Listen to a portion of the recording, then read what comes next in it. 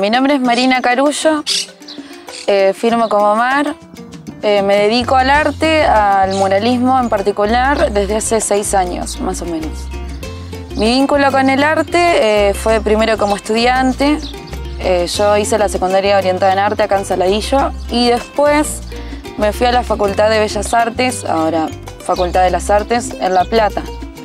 En realidad me especialicé en pintura, en el bastidor, atril, y bueno, hace un par de años atrás eh, empecé a animarme a la pared y me autodefino como muralista, más que artista. Me gusta mucho que la obra esté en lo público, digamos, que saliera del ámbito privado y que, que vos pases y lo veas, dejar ese registro por donde ando.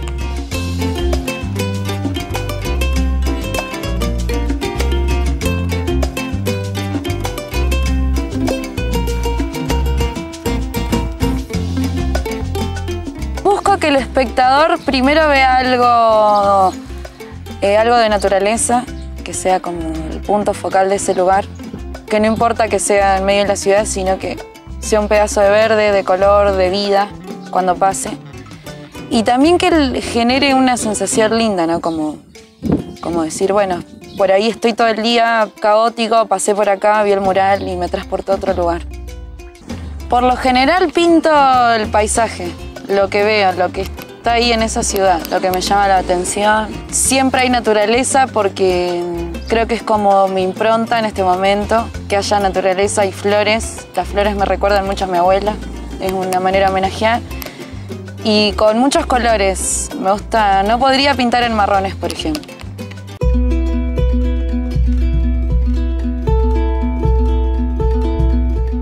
Las frases surgen porque siempre me interesó escribir Siempre fui muy fan de la lectura también, de todo lo que es literatura, historia del arte. Me pasaba que venía como siguiendo el trabajo de un artista que se llama Elio Tupac, que hace como chicha style, que es eh, un estilo muy característico de Perú o de la selva amazónica, que por ahí están en carteles y eso de bailes, y yo veía que este artista lo empezó a usar con ciertas frases.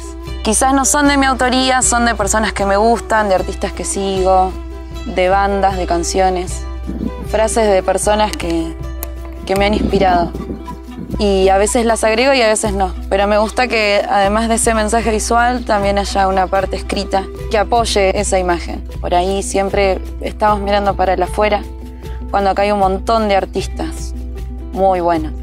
Y siempre haciendo referencia a la cultura latinoamericana y a sus paisajes y a su manera de ver la vida, que es una de las cosas que más me inspira. Yo siempre pensé que en toda mi formación faltó un poco eso. Siempre me gustó mucho y más viajando todo lo que fue la estética chicha style peruana. Buscando me encuentro con Elio Tupac, que es un artista peruano que lo trabaja mucho. Me gusta esto de recuperar la cultura popular, la de los pueblos, ¿no?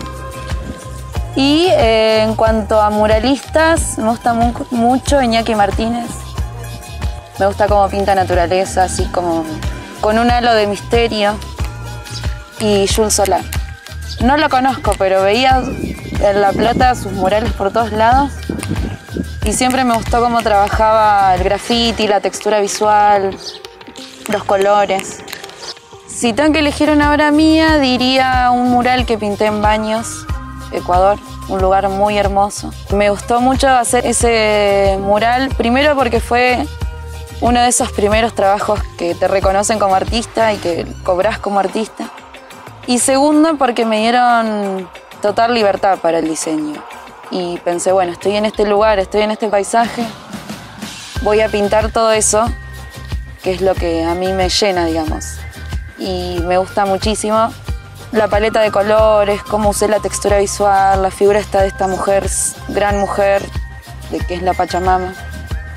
Cuando yo pinto en la calle sé que, que va a ser efímero.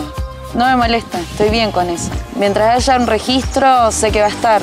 Me gusta un poco eso del, del mural o del arte callejero también porque participa todo el tiempo la gente, digamos.